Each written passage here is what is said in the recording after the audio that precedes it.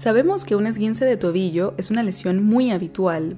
Se produce cuando nos doblamos, torcemos o giramos el tobillo de una manera extraña. Los ligamentos son como unas cuerdas o bandas que permiten mantener los huesos del tobillo unidos y nos proporcionan estabilidad a la articulación, permitiendo los movimientos. Lo que sucede en un esguince es que los ligamentos se distienden demasiado, aumentamos su tensión más de lo normal y de una forma muy brusca. Al momento de llevar más allá de su amplitud normal el movimiento, se produce el esguince. Los síntomas varían según lo grave que sea la lesión, pero algunos de ellos son el dolor al soportar el peso sobre el pie afectado, hinchazón, hematoma, movimiento limitado o inestabilidad en el tobillo.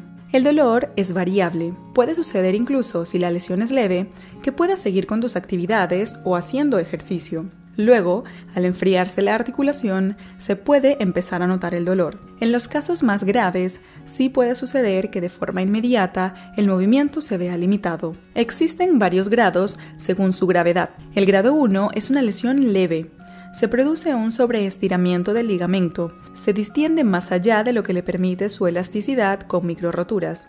En esos casos, no se suelen formar hematomas, el dolor es moderado, la hinchazón es mínima y lo habitual es que podamos volver a nuestra actividad normal en dos o tres semanas. El grado 2 es una lesión moderada, las fibras se desgarran parcialmente.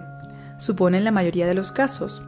La hinchazón es inmediata, notamos la articulación sin fuerza y nos cuesta apoyarnos en ella. Notamos dolor inmediatamente. Su periodo de reposo suele ser de 3 a 6 semanas. En el grado 3 nos encontramos ante una lesión grave, la rotura completa de uno o más de los ligamentos, aunque no suela precisar cirugía. El dolor es intenso, resulta muy difícil apoyar el pie y la articulación se encuentra muy inestable. Suele aparecer un hematoma de forma inmediata y generar edema.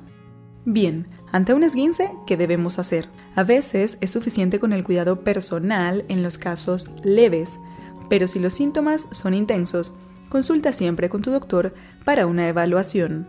Lo recomendable es aplicar estas medidas básicas. En primer lugar, reposo, Procura no apoyar el tobillo lesionado, no fuerces la articulación ni intentes moverla. El reposo es muy importante ante este tipo de lesiones. En segundo lugar, el hielo. Aplica frío en la zona.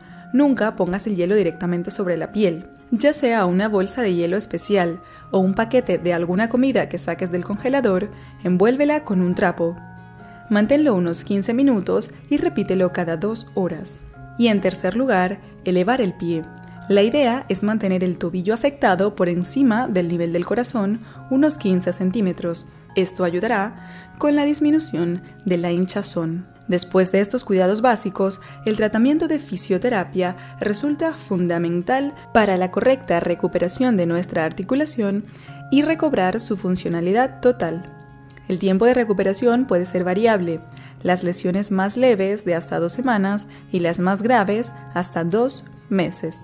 Si te ha gustado este video, no olvides darle al botón de like y suscribirte al canal de Mejor con Salud.